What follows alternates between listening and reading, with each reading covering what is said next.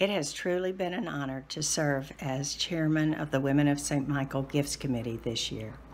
While the circumstances have been challenging, the opportunity to support the agencies serving the most vulnerable in our community has been more important than ever.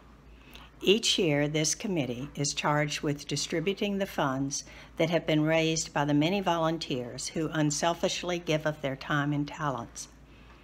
Committee members have researched the agencies applying for grants and made recommendations for funding.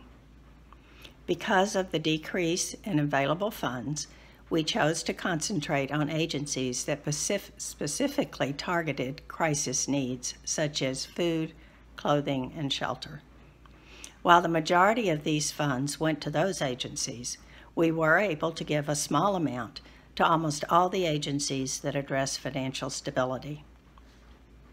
A big thank you to all the members of this committee and your willingness to be flexible as we worked through our new ways of meeting our responsibility.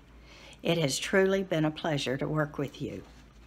And another big thank you to Gail Kessinger who receives and organizes all the grant requests.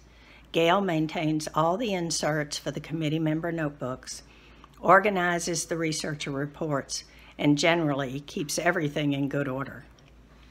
It is my pleasure on behalf of the Gifts Committee to announce that we have awarded $178,000 to 69 very deserving nonprofits in Dallas County.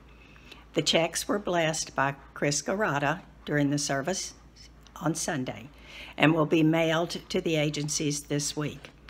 And for that I say, thanks be to God.